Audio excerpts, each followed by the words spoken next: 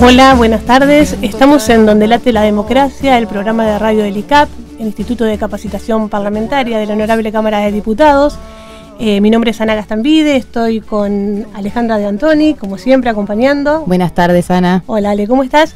Y hoy tenemos una visita que no solamente viene a hablar de, un tema en especial, sino que es mucho más importante porque es la directora del ICAP, o sea, es nuestra jefa, es quien, con quien trabajamos todos los días. Así que bienvenida Claudia Bernaza, directora del ICAP.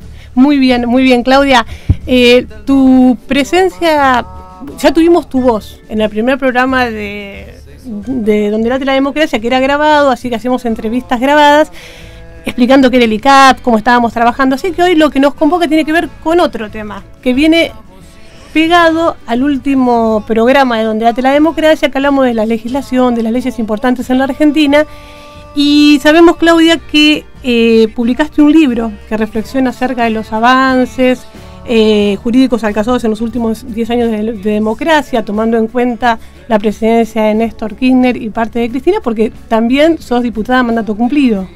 Sí, en realidad lo que traté de demostrar es que contra todo, contra el sentido común instalado de que el poder legislativo es un poder débil en los sistemas presidencialistas, la realidad nos demuestra que este, esta última década, por ejemplo, ha sido muy fructífera en productos legislativos, ha habido muchas leyes, incluso también algo que no se sabe, con muchas leyes que fueron eh, propuestas por personas de la oposición, por legisladores de la oposición, y en muchos casos, si bien fueron propuestas por el oficialismo, fueron modificadas y tienen muchísimas modificaciones eh, introducidas por bloques de la oposición. O sea que la verdad que la democracia estuvo latiendo en este tiempo y estuvo produciendo leyes. Eh, y esto es algo que hay que decirle al, al, argentino porque a veces se le vende como una idea de que, bueno, no, es mejor el sistema parlamentario que el presidencialista. Bueno, en primer lugar, los sistemas son hijos de la historia y por muchas razones históricas nuestro país es presidencialista. Y por otro lado, eh, nuestro sistema presidencialista, sin embargo, ha dado sobradas muestras de que el poder legislativo es un poder importante, de diálogo, de encuentro, es una casa efectivamente es una casa de la democracia. En primer lugar, porque en la crisis del 2001, quienes salvaron a la, a la Argentina de, de, perder para siempre su, su nombre y su institucionalidad fueron dos grandes instituciones, los gobiernos provinciales y el Congreso de la Nación, que sostuvo la institucionalidad, que designó presidente, por más que nos digan fue el tiempo de los cinco presidentes, fue un tiempo donde el Congreso hizo lo que tenía que hacer y salvó la institucionalidad. Y por otro lado, y contra toda una mala propaganda que se le hace, durante todo este tiempo el Congreso trabajó, dialogó, en algunos momentos tuvo ratings altísimos, casi como una novela, como fue el caso del debate de la resolución 125, y produjo hechos legislativos, que el último, uno de los últimos, es uno que, que golpea la vida de cada uno de nosotros, como es la aprobación del Código Civil y Comercial. Seguro, viendo o haciendo un, el otro día un detalle y viendo en los capítulos de tu libro que plantean estas leyes puntuales, la, verdad que es importante, hablamos de educación, hablamos de, bueno, la, primera ley que tiene que ver con la anulación de las leyes de punto final y obediencia de vida, que es que cambia por completo la situación. Sí, yo siempre digo, exactamente, en el libro decimos justamente que la ley más breve de este periodo es la ley más potente, que es la anulación de las leyes de punto final y obediencia de vida. Fueron las primeras, fueron brevísimas, tuvieron una cocina muy interesante, porque las leyes son producto de una negociación donde se juega la picardía, la estrategia, la capacidad política. En aquel caso tenía que ver con el, eh, el malestar que había en las Fuerzas Armadas por el pedido de extradición que estaban haciendo jueces que no eran de la Argentina, básicamente Baltasar Garzón desde España, y eh, Néstor Kirchner, para mí, con mucha inteligencia política, aprovecha esa situación para decir, bueno, ustedes quieren ser juzgados en Argentina, perfecto, pero hay que anular estas leyes. O sea, se aprovechó una coyuntura internacional y un malestar para generar leyes que hoy son la base por la cual se han podido, bueno, juzgar y, poner en cárcel común a los genocidas, se han podido rescatar a los nietos, digamos, se desplegó una cantidad de cosas que le dio muchísimo más sentido a la actuación de la justicia federal. Después, por supuesto, hubo leyes referidas al trabajo, leyes que volvieron a poner en valor eh, las leyes, la ley de contrato de trabajo eh, y que dejaba para siempre atrás el tema de los tickets canasta. También fue el, fue el periodo de las leyes de la de educación, las leyes que le dieron mayor presupuesto a la educación. Fue el periodo en que se reconoció el, eh, la Convención contra, para la Eliminación de la Violencia, contra las Mujeres. Fue el periodo de la, de la aprobación de las leyes por, la infancia. Fue el periodo de donde se aprobó una ley propuesta por la oposición referida a las migraciones y, a, y, a, la posibilidad de que los migrantes en Argentina eh, sean bienvenidos. Pensemos lo que está pasando en el escenario, en el escenario europeo en este sentido. Eh, y con el horror de lo, de lo que acabamos de ver, de lo que ha pasado en Austria, digamos, ¿no? Y también si tenemos en cuenta las leyes que tuvieron el fortalecimiento del Estado, donde vos en tu libro citás a la creación del sistema integrado de jubilaciones y pensiones, ahora podemos hablar de un montón que tuvo que ver con recuperación. La recuperación de las empresas estatales, fue un periodo clave de recuperación tanto de aerolíneas, ferrocarriles, eh, bueno, eh, IPF por supuesto como gran bandera, que muestra todo otro rol del Estado. Todo eso sucedió en el Congreso argentino. Eh, y, la verdad que las mayorías con las que se aprobaron estas leyes, los números con que se aprobaron, fueron muy superiores solamente al bloque oficialista. Eh, no, no se contó solamente con el voto del bloque oficialista, se contó con muchos aliados, incluso aliados que en otros temas no funcionan como aliados, funcionan como adversarios. Por lo tanto, la democracia se mostró en todo su juego.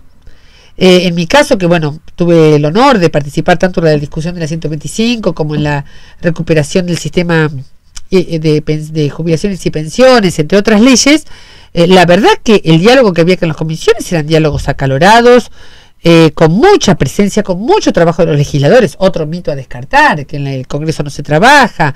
Quizás se trabaja en otros horarios, quizás se trabaja de otra manera.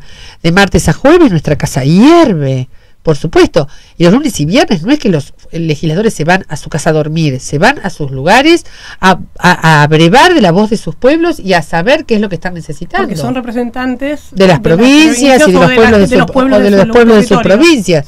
Y por lo tanto tienen que ir ahí, además a hacer sus negociaciones políticas, porque es en ese territorio donde ganan las elecciones. Eh, digo, la verdad que el trabajador de esta casa es un trabajador que es un trabajador que eh, no tiene ningún problema en quedarse hasta cualquier hora en, una sesión, como fue el caso de la sesión de anoche. Es un trabajador que, que tiene que sistematizar todo lo que se conoce y todo lo que se ha legislado sobre un tema para ponerlo al servicio del legislador para que el legislador discuta con una base cierta. Es un legislador que está todo el tiempo corrigiendo dictámenes hasta último momento para llevarlo a la labor parlamentaria. Y esta tarea se hizo, pero con un trabajo de hormiga enorme y dinámico y fuertísimo durante todos estos años. Y no casualmente esto no se da a conocer. Y es que también hubo un previo a, todos estos años que estamos hablando, hubo una campaña descalificadora del trabajo dentro del Congreso, en virtud de lo que implica el Congreso. El Congreso cuando, cuando no había democracia eh, era el poder que faltaba. O sea, es, es el espacio o el lugar en donde están representando todas las voces, en donde está tenés la posibilidad de discutir, de dialogar y donde realmente se plasman las normativas, que si no son decreto ley. O sea, es, Y fue descalificado permanentemente. El hecho de, poder hacer un, un reaconto de, de las, las normativas más importantes o los que han cambiado eh, la vida de los argentinos, si hablamos de, género, de igualdad, de Bueno, la ley de medios, la ley, de, medios. el régimen para empleados de, casas particulares, que, que, bueno, ha cambiado la vida de un montón de mujeres que están en el empleo doméstico de una manera contundente, que era impensable un tiempo atrás. Eh, bueno, todo lo que es el trabajo, la regulación del trabajo agrario, es todo de este tiempo. Es todo de este tiempo. Eh, es, es, sumamente importante. Por ahí son, son, hago un paralelismo con las propagandas de, de, la tele que pasan de Presidencia de la Nación contando la historia de la vida de las personas, que la ley tal te hizo tal cosa, esta ley también te ayudó para el otro, cómo estamos rodeados y vivimos eh, dependiendo del marco normativo que tenés y cómo cambia, el otro día hablábamos con Ale, cómo a veces había demanda de cambio de la ciudadanía y cómo a veces algunas leyes sorprendieron anticipándose a la demanda, qué es primero, qué pasa, cuándo, cómo. Sí, las leyes. culturalmente estaba, hay sectores que todavía no estaban preparados para determinadas cuestiones y, de a poco se van internalizando. El matrimonio igualitario, la identidad de género, la ley de medios, hubo, hubo una movilización social detrás de todo. Detrás de todo En otros casos, como vos bien decís, son leyes que son definiciones políticas, son, forman parte de la voluntad política del Ejecutivo del momento.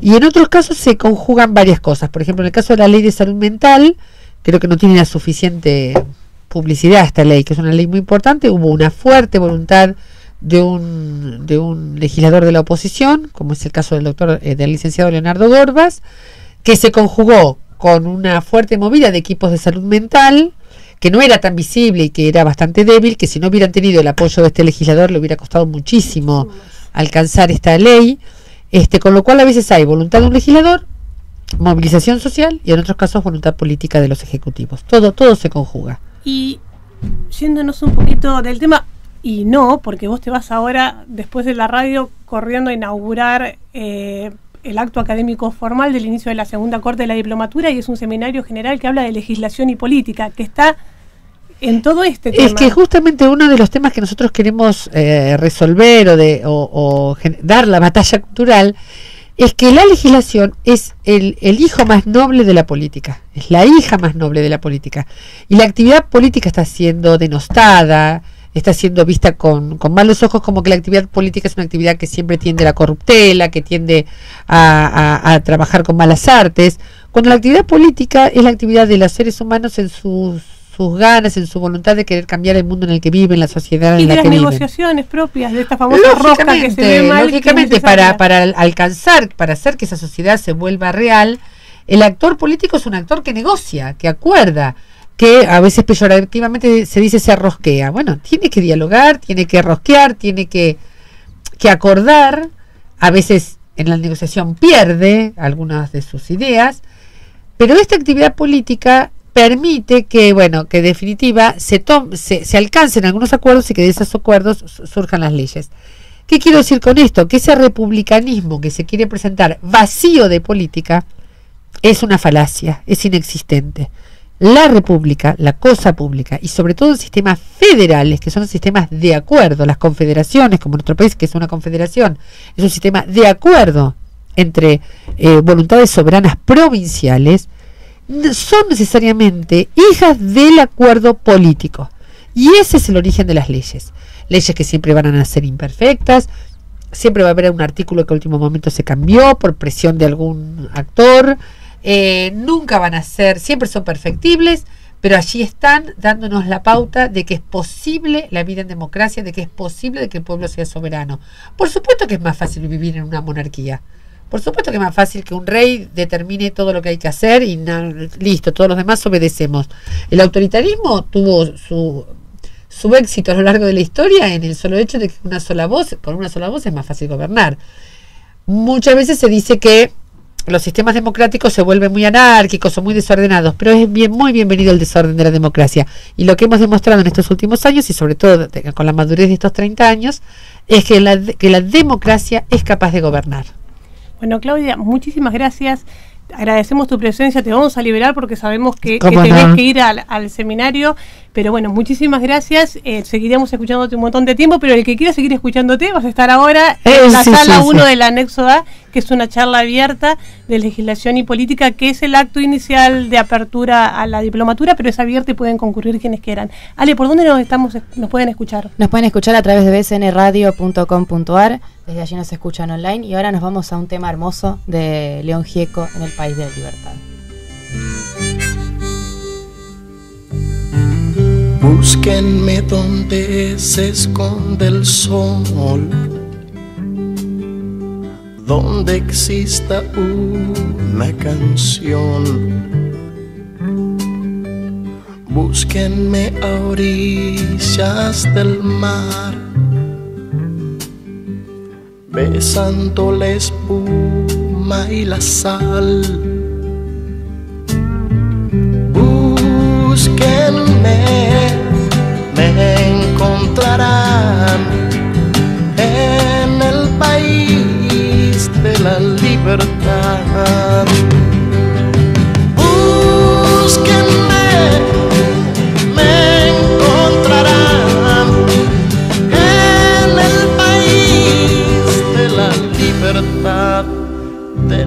ीवर्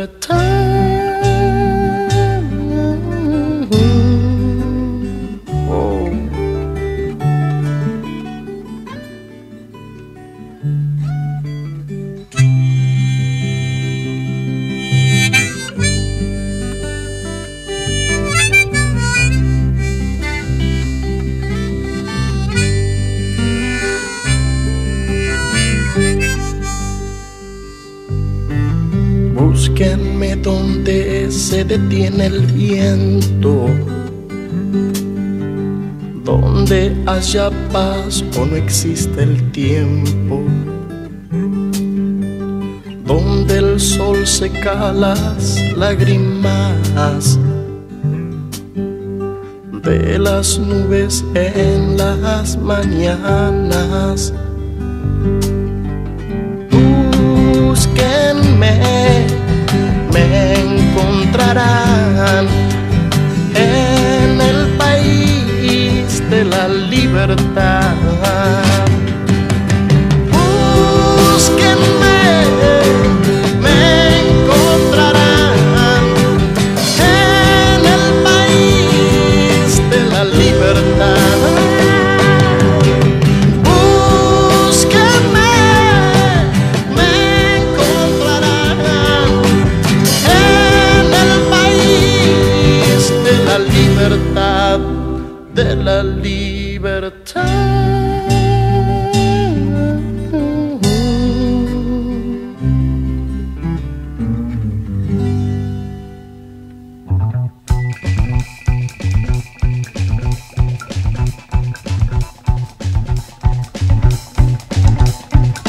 Están escuchando BCN Radio.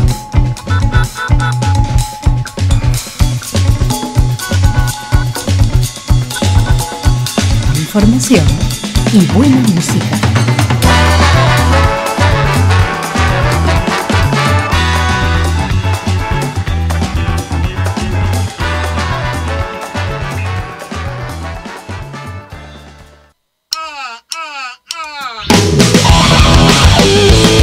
El que viaja como sardina, la que fuma abajo del agua, los que se enredan en sus sueños y las que despiertan en la realidad, todos escuchan Crisaga.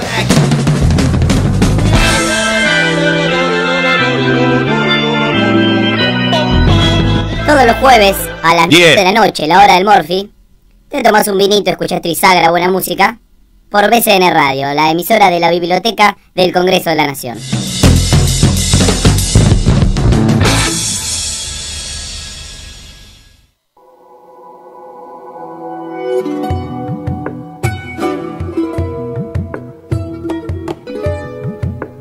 BCN Radio. Cultura Federal.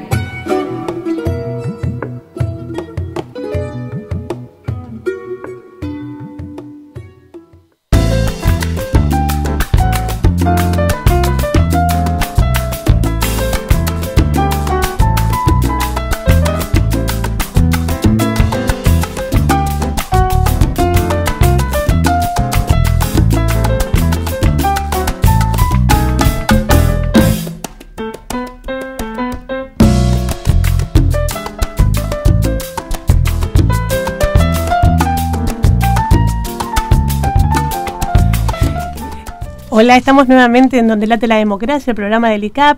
Hace ratito se estuvo hablando con nosotros Claudia Bernaza, la directora del instituto, más que nada tratando de aclarar o de contarnos eh, el libro que ella había escrito, que tenía que ver con lo que nosotros estuvimos charlando mm, la, la última, el último programa, que estaba relacionado a las importantes leyes que tuvimos en nuestro país y que tenemos en la que nos rigen en este momento. Así que la verdad, un placer haberla tenido a Claudia hablando. Nosotros estamos Sí, acostumbrados estamos Ale, a escucharla sí, sí, sí. permanentemente, pero la verdad que un placer porque es una persona totalmente apasionada con lo que hace y lo que cuenta. No, pero a- aparte también es lindo charlar un poco con alguien que, que estuvo dentro del Congreso y que como, como ella, que es diputada a mandato cumplido y que estuvo en lo que fue la cocina de estas leyes. Más que nada para los que por ahí venimos de afuera y que hasta no hace mucho estábamos trabajando en otra cosa, en mi caso en el sector de educación, entender cómo es el trabajo dentro del Congreso, y bueno, más específicamente dentro de la Cámara de Diputados. Por, por lo mismo que decía Claudia, esta, esta onda que hubo durante mucho tiempo de la antipolítica y de que en el Congreso no se trabaja y de que en la política no se trabaja y realmente entender que sí, desde, desde el mismo trabajo en comisiones, como decía Claudia, las investigaciones, la información que necesitan para poder armar los O proyectos. cuando uno escucha, uy, el Código Civil se aprobó en un día, ¿no? Hace años que se viene trabajando y que se está trabajando en las comisiones y que se viene haciendo, deshaciendo, armando, incorporando. O sea, lo que se ve en el día del recinto es el final. Es el final, es el final de un ciclo, es, es la última ronda de mate, digamos, porque vino todo lo anterior, un trabajo inclusive de años en muchos casos. Seguro. Y, y lo importante también que ella, ella comentaba en esto de, revalorizar la política, siempre cuando se hablaba o se habla todavía de política, eh, si uno habla de política pública es como que le da ese nombre para hablar de la gestión del Estado, como que la política por afuera de la gestión estuviera mal y es la base de todo, porque tiene que ver con la ideología que te marca para dónde vas, dónde estás parado y qué cosa vas a hacer o querés hacer. Eh, el, el volver a recuperar la palabra política con todo lo que significa eh, es importantísimo. Y el lugar donde se ven todas las voces y todos los colores es, es en el Congreso. No, y, y además lo, lo, bueno es que ya no está solamente dentro del Congreso la política, no es algo exclusivo de funcionarios, de diputados, sino que todos estamos día a día en la cosa política, en esto de hay un tema que me interesa, escuché, leí que hay un proyecto de ley que se está debatiendo, como fue el caso del matrimonio igualitario, que estábamos todos hablando del tema y todos queríamos opinar y saber qué iba a pasar y cómo iba a cambiar nuestra vida. Eh, lo mismo con la ley de identidad de género, digo, como que uno no se involucra esto, esto de que salga para afuera la política Seguro. del Congreso. Y cómo fue mutando el espacio de militancia. Eh, hace años cerrado, circunscripto a, a, los partidos políticos y cómo el partido político fue perdiendo ese lugar y ese rol y las organizaciones sociales, los grupos, las fundaciones, los, los unidos por un tema puntual, eh, fueron, teniendo su, fueron teniendo su lugar de acción y su lugar de militancia haciendo política también. No tiene que pasar la política por un partido político, sino por cualquier lugar donde uno tiene ganas de modificar lo que está, de reforzarlo o de hacer una acción que genere una transformación en lo que está pasando. Esto es un poco lo que discutíamos eh, con compañeros de la diplomatura, el tema de lo que se llama crisis de representación, si, si es real o no, si está pasando o no este tema de que los partidos políticos ya no nos representan o no nos representan como antes o sentimos que algo falta. Y esta cuestión de las organizaciones sociales que, que ahí es donde está la representación. Digo, el caso de madres que tienen problemas con pareja o con trabajo o con violencia o con... Nos juntamos porque tenemos este problema. ¿Qué podemos hacer? Seguro, seguro. Eh, se, se, fue corriendo. Y es más, en, esas, en estas organizaciones o en estas instituciones estás atravesada por, toda, por todas las ideologías posibles. O sea, pues tenés de muchos partidos que están trabajando en pos de una causa o de un tema puntual que la, lo querés, querés transformar, lo que eso también es interesante. Antes era como que, bueno, no, si opinás distinto que yo, tenés una mirada diferente, pasaste a ser mi enemigo. No, hoy no. Hoy existen organizaciones eh, apolítica e ideológica, pero con toda la política militante adentro. No, pero a, a, aparte también que ahora hay debate, en serio, porque sí, no. antes por ahí uno, uno se juntaba o charlaba con el que pensaba igual y nunca terminaba viendo un debate porque estábamos todos en la misma línea. Y hoy es genial que podamos convivir todos, aunque muchas veces esas discusiones se, como que se apasiona uno un poco y bueno, pero de todas formas igual eh, es lindo que, que, haya muchas voces. Seguro que sí. Bueno, y les comentamos antes de terminar el programa que hoy eh, volvemos a repetir, es el acto de inicio a la segunda diplomatura universitaria, a la segunda vez a la segunda corte de la diplomatura universitaria en gestión legislativa con muchísima cantidad de alumnos, más de 160 alumnos, eh, eh, dividido en tres comisiones, pero Ma en el seminario, mañana, turno, turno mañana y tarde, pero en el seminario general van a estar todos Estaremos juntos. todos presentes. Sí. Eh, es en, el, en, la sala 1 del anexo A y va a haber invitados. Eh, con, contamos con la presencia de Abal Medina, de Juan Fernando Marcópulos, Claudia Bernaza, que también va a hablar sobre legislación y política. Así que la verdad que el que tenga ganas de darse una vueltita por ahí lo esperamos. Y después, eh, como cursos cercanos, tenemos dos. Sí, estamos, bueno, en septiembre arranca finalmente el curso de chino que venimos anunciando hace varias semanas, para sumarse como tercera opción a los cursos de idiomas que ya se están llevando a cabo. Y también sigue abierta la convocatoria para el, el, curso Introducción a la Constitución de la Nación Argentina, que básicamente es la reina madre eh, de, la, de, de, lo que funciona acá, de, del reglamento de la Cámara, de, de qué, eh, qué competencias tienen las diferentes cámaras. Bueno, está todo ahí. Así que va a ser un curso sumamente interesante. Arranca la semana que viene, el martes primero de septiembre, y la convocatoria, la inscripción sigue abierta a través de nuestra página web. Y quienes se anotaron en los cursos virtuales empiezan el lunes. También, el 31 de agosto, este próximo lunes, les estaremos enviando el correo a quienes participan de los cursos virtuales para que ya tengan su usuario y contraseña y puedan acceder. Perfecto, y te corté con la página web, perdón. Sí, no, que es www.icap.gov.ar y también nos pueden encontrar en Facebook y Twitter como Instituto de Capacitación Parlamentaria. Perfecto. Después van a aparecer nuevos cursos que tenemos organizados para el mes de septiembre y contarles que también se sigue en el programa federal de fortalecimiento para la democracia.